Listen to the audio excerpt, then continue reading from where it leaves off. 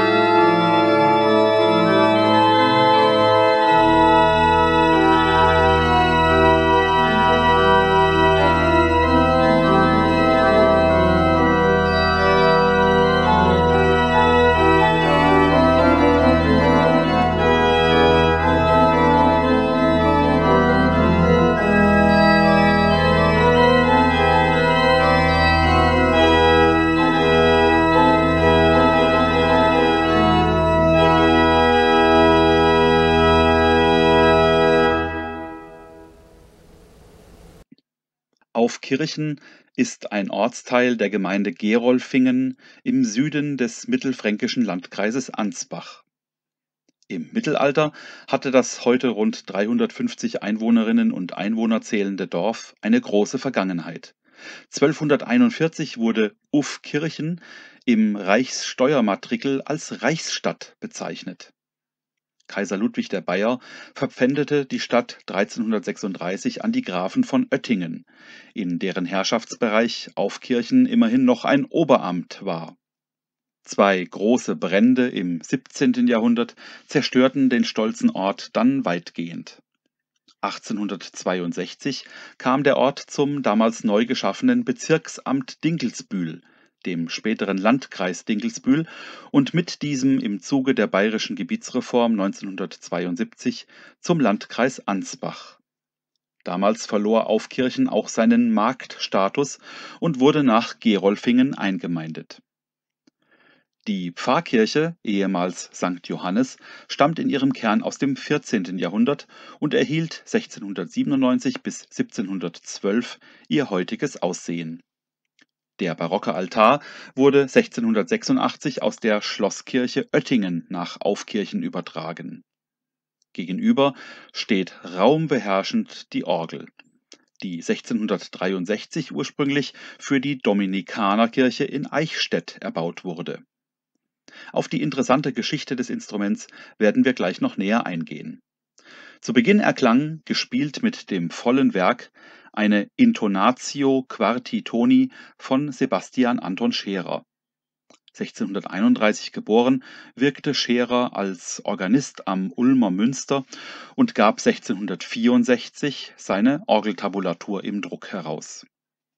Hören wir im Folgenden einige Einzelregister und Klangfarben der Aufkirchener Orgel in Versetten zum Magnificat Septimi Toni von Johann Caspar Kerl dieser wirkte seit 1656 als Leiter der Hofkapelle in München, bevor er 1674 zum Hoforganisten und gleichzeitig zum Organisten am Stephansdom in Wien berufen wurde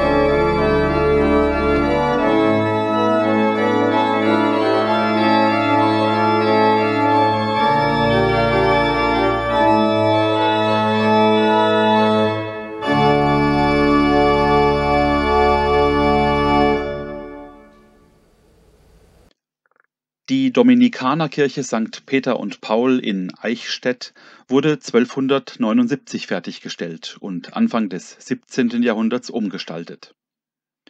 1597 erhielt die Kirche auf dem damaligen gotischen Lettner eine Orgel aus der Werkstatt des Nürnberger Stadtorgelmachers Peter Grünewald. Dieser war ein Schüler des berühmten Hermann Raphael Rottenstein-Pock der aus den Niederlanden stammte und damals in Zwickau seine Werkstatt hatte. 1660 wurde im Zuge einer Umgestaltung des Kircheninneren der Lettner abgetragen und durch eine Westempore ersetzt. 1663 wurde die alte Grünewaldorgel um ein zweites Manual erweitert. Zweimanualige Orgeln sind in jener Zeit im süddeutschen Raum noch etwas durchaus Außergewöhnliches Wer diese Arbeiten ausgeführt hat, ist nicht überliefert, doch kann man mit einiger Wahrscheinlichkeit Johann Philipp Wenzel als ausführenden Orgelbauer annehmen. Über ihn weiß man sehr wenig. Er ist mit Tätigkeiten zwischen 1650 und 1693 nachweisbar und hatte seine Werkstatt in Eichstätt eine 1687 von Wenzel erstellte Angebotszeichnung für einen geplanten Neubau in Wolframs-Eschenbach bei Ansbach sieht in vielen Details der Eichstätter Dominikanerorgel so ähnlich, dass ein Zusammenhang geradezu ins Auge fällt.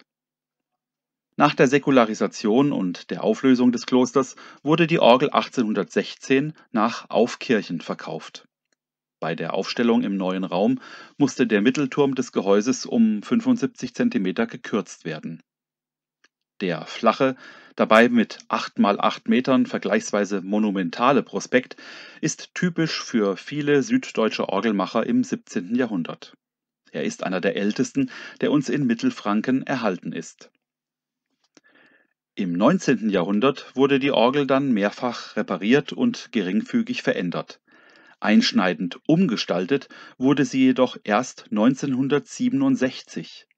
Damals wurde auf Veranlassung eines Orgelsachverständigen die komplette technische Spielanlage der Orgel in damals moderner Weise erneuert und leider erfolgte auch klanglich eine Art Neobarockisierung.